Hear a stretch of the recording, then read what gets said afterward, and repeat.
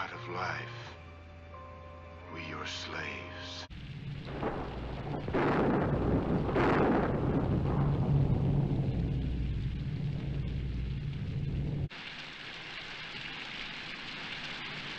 Well, well, my friend, this is an unexpected pleasure.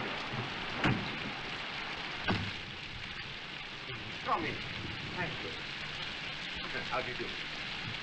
My, my children will become conceited and so distinguished a critic has thought them interesting enough to review. and I am going to give you immortality. No, please. Oh, please. I've done nothing to hurt you. I have no desire to hurt you. You will always be beautiful. Think, my child.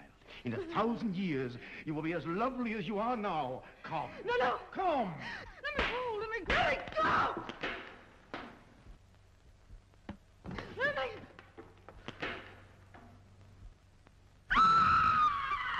My Marie Antoinette.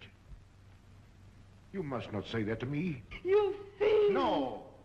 There was a fiend. Of that you can be sure. There was a fiend. And this is what he did to me. Like these treatments, don't you, Dan?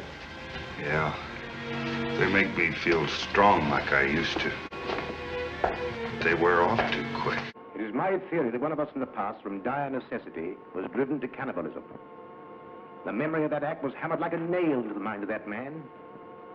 Shrewd and brilliant, he could conceal his madness from the human eye, even from himself, but he can't conceal it from the eyes of the radio sensitivity.